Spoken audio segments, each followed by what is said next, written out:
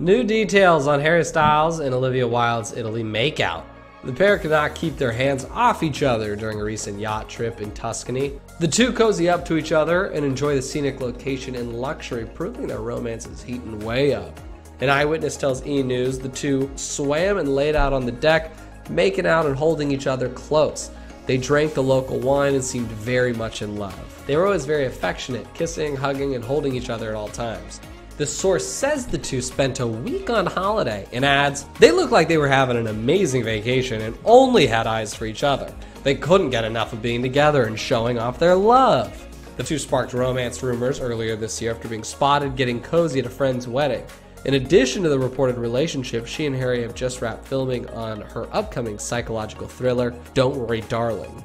Olivia and her film's costume designer Arianne Phillips confirmed Harry's participation in a December 2020 interview with Vogue and gushed at their excitement of having him on board.